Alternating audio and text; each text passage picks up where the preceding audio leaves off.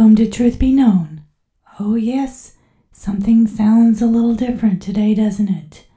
Well, we're going to do something different because this is my voice. And I doubt that you want to sit and listen to my voice, you know, talk, because I don't really want to talk. but I can't wait till I can talk.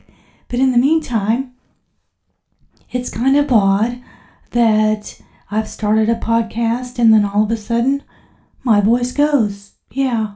So you might not understand this, but I really think it's a spiritual thing and Satan doesn't want the word out there that you need to hear.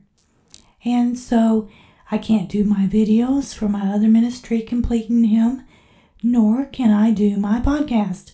But guess what? I can do something. Ha ha, Satan, take that. And today I'm going to share with you.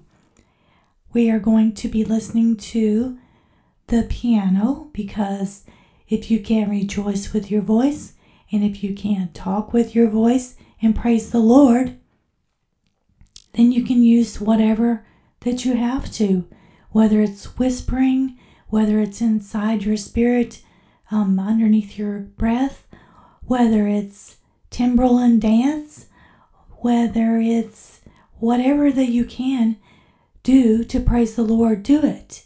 And so today I'm going to share with you how I praise the Lord, and I hope you enjoy it. Tune in next time where and when we will be able to do a whole lot more. But today, let's just praise the Lord.